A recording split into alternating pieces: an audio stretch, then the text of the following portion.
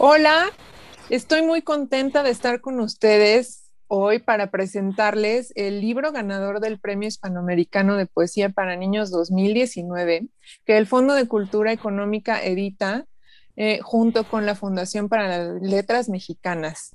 En esta ocasión, el poemario ganador fue El Mar, de Micaela Chirif, una muy querida autora del catálogo de obras para niños y jóvenes del fondo. Eh, muchas gracias, Mica, por estar con nosotros hoy. Hola, Susana, muchísimas gracias por invitarme. Y bueno, también tenemos como invitados a los ilustradores de este libro, porque además les cuento que es, es mucho más especial todavía, porque es el primero del Fondo de Cultura que es ilustrado a seis manos por tres artistas mexicanos. Armando Fonseca, Amanda Mijangos y Juan Palomino. Muchas gracias a los tres por estar con nosotros hoy. Hola, gracias Susana. Gracias. Y bueno, pues ¿quién mejor que la autora para que nos cuente un poco de qué va el poemario, qué es el mar, Mica? Bueno, es un, yo me he dado cuenta, digamos, más o menos recientemente que el mar aparece mucho en los libros que hago eh, con frecuencia yo vivo en Lima, que es una ciudad que está junto al mar, eh, entonces es una ha sido siempre una presencia constante desde, desde niña. Y esto empezó como un solo texto que se llamaba El mar y que estaba como desplegado a lo largo de varias páginas para armar más bien un álbum. Eh, luego ese, ese, ese desplegado, digamos, se convirtió en un poema solo, que fue el poema que dio origen al libro eh, eh, que se llama El Mar precisamente. Eh, pero una amiga me dijo, ¿y por qué no haces más poemas que, tengan, que sean como el mar y lo conviertes en un poemario? Entonces, a partir de ahí, mi primera idea fue hacer varios paisajes. O sea, hacer el paisaje del mar, el paisaje de montaña, el paisaje de desierto, etcétera pero luego como mi, no sé, mi gusto por el mar es tan grande, terminé haciendo 10 poemas más, que con el mar son 11, que lo que hacen es mostrar eh, el mar y como los personajes o los espacios que, que podemos, digamos, asociar con ese espacio marino, ¿no? Entonces hay un pulpo, hay una sirena, una ballena, un pescador, pero también hay unas nubes, un cielo que están encima del mar, de manera que se, se amplía un poco el, panorama.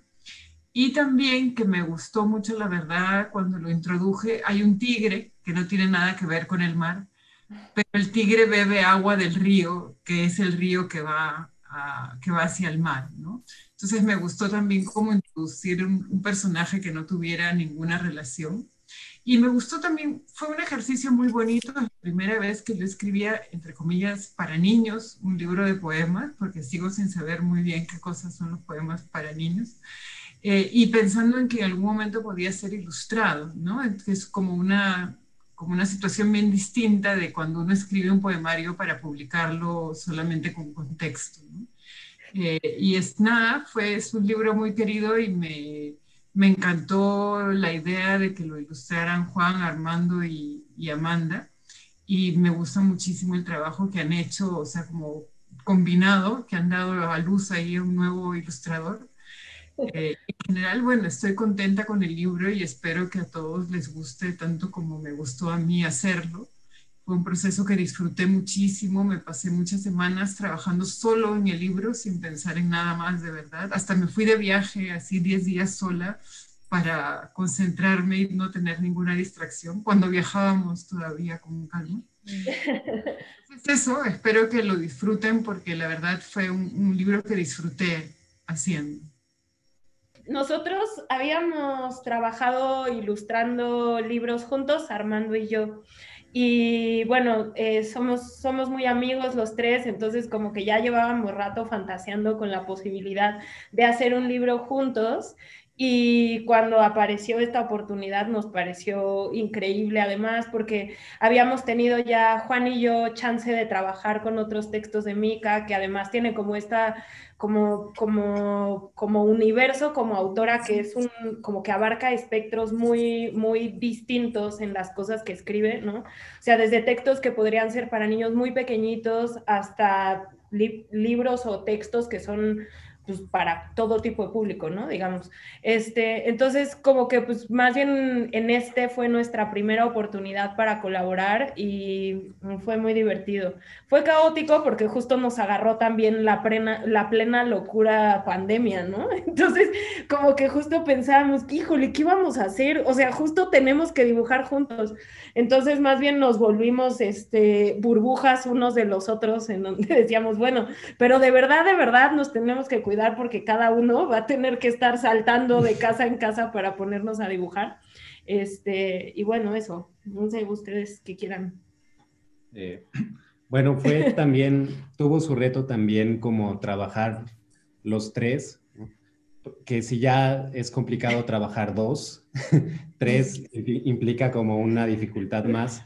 Y pues también mucho del proceso interesante fue ver cómo podíamos trabajar los tres de manera eh, en la que no nos diluyéramos como en la facilidad como de repartirnos solo los poemas o, o no sé, ir como a lugares como seguros, sino de verdad como buscar una manera de, de trabajar y de aportar cada uno desde, desde su mirada, sus procesos. Eh, y fue una cosa híbrida, extraña, que fue como resultando sobre la marcha y al final, pues sí, logramos terminar el libro. Justo creo que algo muy interesante, eh, yo no había tenido esa experiencia de trabajar como con más personas haciendo un libro en la parte visual, digamos. Y algo que fue muy chido es que no solo teníamos como el objetivo de crear un nuevo ilustrador, digamos como racionalmente, sino que sucedió como a pesar de nosotros, ¿no? O sea, lo que hacíamos era como pues tratar de platicar mucho sobre, sobre lo que leíamos, sobre las lecturas que hacíamos de cada cosa y luego el la, digamos que una vez que teníamos una idea, eh, dibujábamos los tres, pero no sabíamos bien qué iba a suceder con esas cosas. Entonces, eh, un poco era más bien como que entre los tres descubriéramos qué estaba sucediendo ahí este, para desarrollarlo, ¿no? Y creo que una parte que fue como muy interesante de eso, no solo es como ese acontecimiento que tiene como su propia independencia, sino que también nos permitió eh, en nuestra relación de amigos tener como una relación en la que durante el proceso discutimos mucho como el oficio, eh, las posibilidades como del diálogo del texto y la imagen, como cómo puede operar la imagen en la ilustración de un poema. Eh, y creo que eso también fue como muy enriquecedor, ¿no? Y se ve pues al final en, estos niveles que tiene la, pues, la relación de cada imagen con cada poema y luego eh, los hilos narrativos que hay tanto formales como digamos como más como de historia eh, dentro de las ilustraciones del libro entero, ¿no? Así es, ya verán nuestros lectores el resultado, pues el libro estará pronto en librerías eh, un excelente regalo para este Día de los Niños y las Niñas. Y bueno, Mica, ¿a ti qué te pareció eh, eh, lo que hicieron ellos? ¿Por qué recomendarías este libro a los padres para sus hijos? yo creo que es un, no sé si lo, o sea, como que suena mal que yo sea misma, yo lo recomiendo. me gusta, es que tiene una forma, el, el, libro fue hecho así a propósito, que en la cual eh, yo busqué como describir los personajes y los espacios, pero describirlos de una manera como un poco distinta, digamos, un poco como tratando de encontrar el ángulo de lo que ya sabemos, pero que al mismo tiempo suena extraño una vez que lo mencionamos, ¿no? ¿Por qué? Porque normalmente nos acercamos a las cosas desde un ángulo distinto y no volvemos a decir ciertas cosas que pueden ser ya obvias, ¿no es cierto? Eh, y, sobre todo como en la descripción de las características de, cada personaje, de cada espacio, busqué encontrar eso como la característica obvia, pero que normalmente no vemos, y luego como a partir de una característica para cada poema, eh, eh, como armar ese conjunto, ¿no? Me gustó mucho también como hacer estos ecos entre un poema y el otro, que como que se repiten. Entonces, en ese sentido, yo creo que es un libro que puede invitar a escribir también. Como ya respondiendo más a tu pregunta, que es un libro que puede invitar a describir otros paisajes y a otros personajes, más o menos siguiendo la misma lógica que tienen estos poemas. Entonces, a mí me, gustaría mucho, la verdad, desde que lo escribí pensé en eso, que el libro fuera un libro no solo para leer, sino también un libro que invite a escribir, que invite a hacer. Y ese escribir creo que es, eh, es un escribir que parte de la mirada, ¿no es cierto? Regresó luego a la mirada con, con, Armando, con Amanda y con Juan, pero que parte de tratar de ver las cosas como otra vez, ¿no? Desde otro ángulo. Entonces, eso es lo que me gustaría que haga con los lectores, ¿no? Y creo que puede invitar a eso, a mirar otra vez y a volver como a sorprendernos y a, descubrir esos paisajes o esos personajes que tenemos cerca, pero que hemos dejado de mirar a veces, ¿no?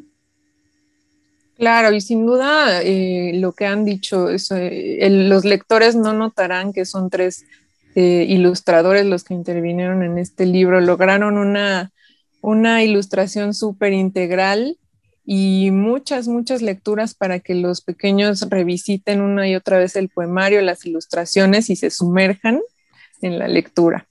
Entonces, pues muchas gracias a, todos por estar hoy con nosotros. Eh, no sé si quieran agregar algo más, Armando, Amanda, Juan, para recomendar el libro a los lectores también. Pues pues véanlo, véanlo, léanlo, sus imágenes y sus textos y, pregúntense cómo es sumar y cuéntenos, ¿no? Una vez que lo, que lo hayan leído. Eso nos gustará mucho saber. Pues muchas gracias, gracias a, todos por acompañarnos. Ya estaremos presentando en otros espacios el libro eh, para que nos sigan en las redes sociales y pues que tengan muy buena noche. Hasta luego. Adiós.